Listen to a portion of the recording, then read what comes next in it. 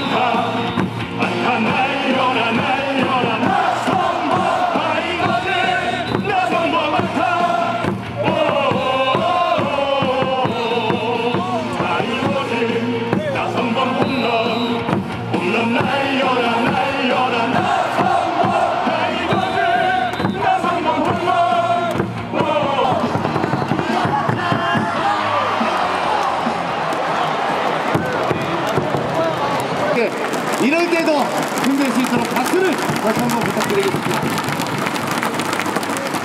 자, 어찌저찌 하다 보니까 우리 이창진 선수의 등장법을 이제 설명합니다.